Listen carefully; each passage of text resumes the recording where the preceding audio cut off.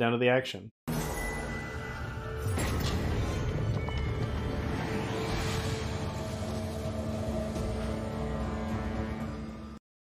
All right. Looks like Jez was on the play, playing out of power here. Marten starting things off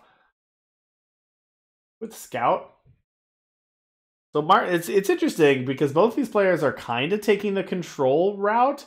You know, Marten's deck has a lot of ramp, removal, play big heavy hitters, but Jez is also kind of removal, play heavy hitters in the late game. So it'll be interesting to see how this matchup plays out. The one advantage, it does feel like the sling potentially has the better card draw in the late game. So we'll have to see if that sort of takes over and trumps the the earlier plays by Marten's deck.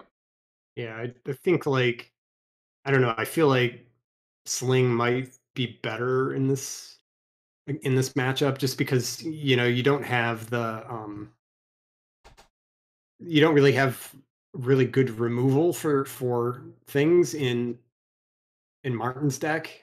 Um and know that enemy. I mean, yeah, know the enemy's great when you are trying to like destroy your opponent's board, but they don't you know, Jez is just not going to have that kind of board.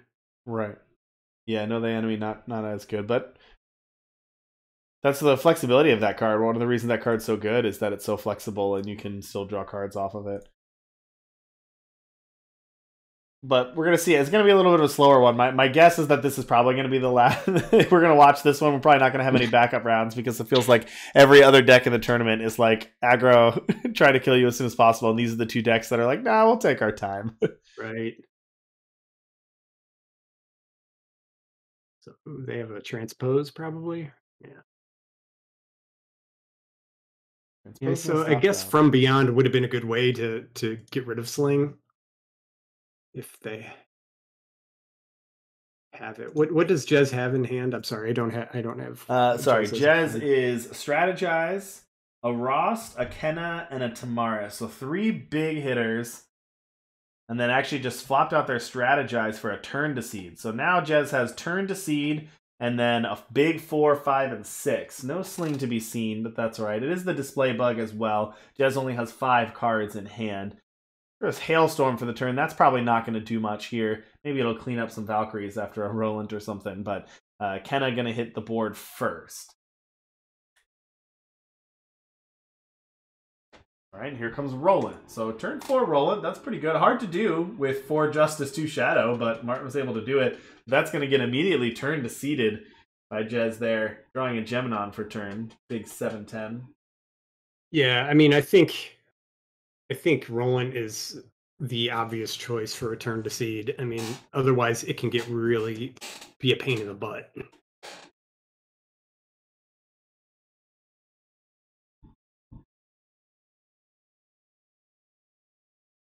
Marten here's got a Diana too. That's really impressive from your uh, power base to be able to play a turn four Roland and then a turn five Diana. right. I'm going to choose to go with the Smuggler instead.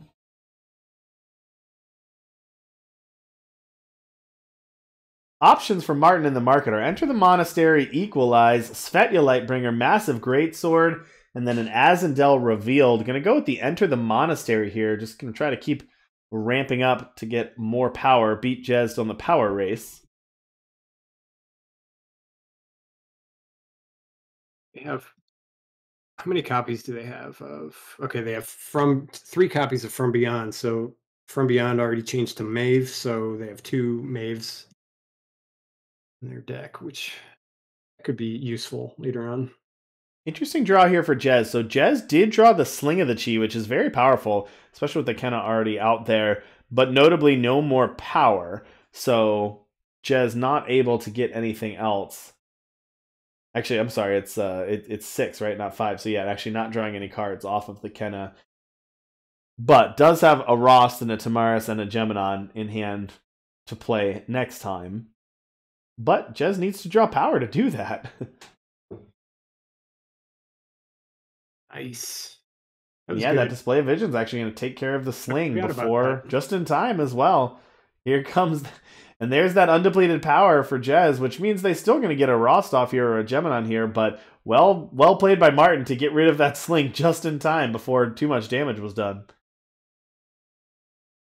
So yeah, I forgot, you know, that this deck does have display of vision to to hit sling with Sabertooth Pride Leader as well, and Right. then you know from beyond and as early plays to try to get it out.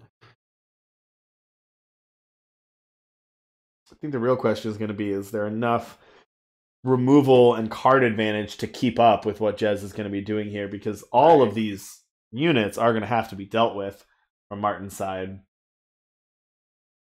You can't just leave a Geminon sitting around. Marten's already Right. at 12, courtesy of this Kenna. You can't leave this Kenna sitting around. Can't leave this Geminon sitting around. We're to go, know thy enemy is going to hit a Pride Leader and a Diana. Mm, Those are two good Yeah. two good units to hit.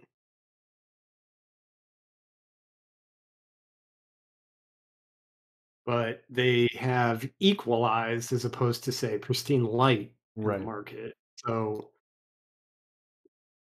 you don't really have ways of killing things. Yeah. I mean, no, this seems tough. I, I don't see how. I don't see how the Vision mid range deck here is just going to keep up with. Every single unit has is just going to be too big. I mean, Jez is following up with a Rost and a Tamaris here. It's not like it's not like we're following up with tutus. Right.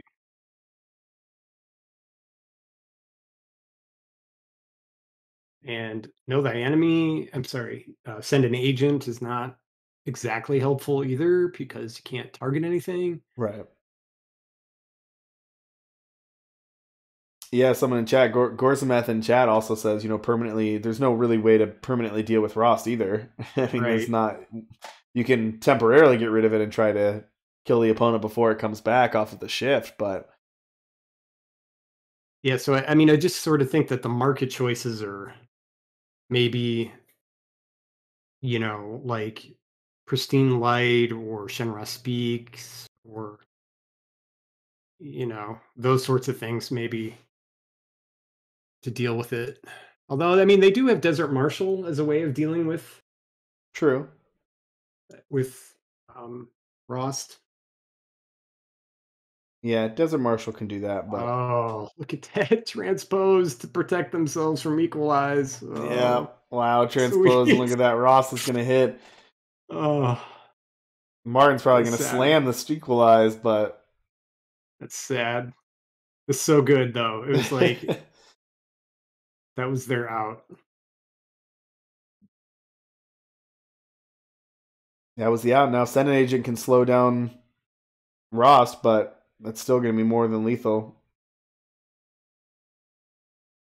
Yeah, I think Lights Out Ace puts it well. The issue is that it's uh, the parade of units that don't care about Pride Leader or know thy enemy. Exactly. It's it's the Yeah. units that Jez is playing don't care about any of the interaction that Marten has. Right. Marten's interaction is good against the other decks that are a little bit more aggro focused, have monocolored units, are lower to the ground. Big, giant, multicolor units that give you advantage is not what this deck is lined up to beat. So, yeah, Jez is going to take that one. And I worry, I, don't really see how. I, this just seems like a just mishmash of deck builds, right? I, I'm just looking through this list and it's like you could try to exploit out some things, but unfortunately, this vision deck can't really put a lot of pressure either. Yeah. So it's not like It's- you can beat the sling deck before they're able to get things going. I guess you could try to get maybe if you had a little bit of ramp and you were able to. You don't even have a lot of ramp. You try to get like early Dianas and Rolands and try to just beat down, but yeah, it doesn't look good. I mean, it's it's not like this deck is bad. I mean, it's not. It's it's good. It's just that against Sling, it just can't really deal with Sling's threats, Right. and that's just too bad, you know. Right, and it's interesting. This is another more evidence for what TRS was telling us about how the deck doesn't resolve, revolve around Sling. Is that one thing that Marten's deck can do well is get rid of the actual card, Sling of the Chi, Right. But Right. Jez doesn't care. like it Yeah. doesn't actually do anything. It doesn't really other than just slow Jez down, maybe that doesn't actually stop what Jez is trying to do, and that's what Marten. That's really the only effective thing Marten's deck can do is take out Sling of the Chi. So Right. here you got two Desert Marshals, a Smuggler, and a Roland. So if if there's a world where Marten can aggro out and get some pressure on, this would be the hand to do it. But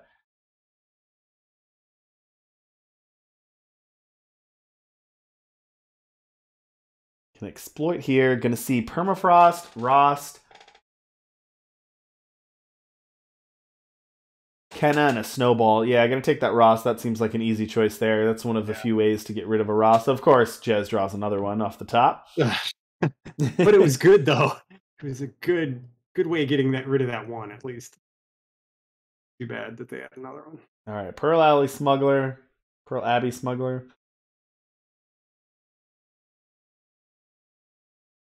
Like, what do you get rid of? Like, roll. Yeah, gonna get rid of a. Desert Marshal for an Equalize. I almost feel like Roland is just not relevant. You know, Yeah. All right, Skycrag Blueprints.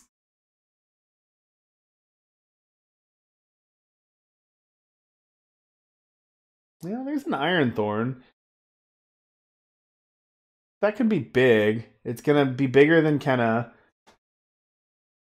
Look at this equalize. Wow, just say discard some cards. Discard down to three. So Jez has six. So that's half of Jez's hand. That's that's a very interesting. Equalize to discard three is not the mode you see super often.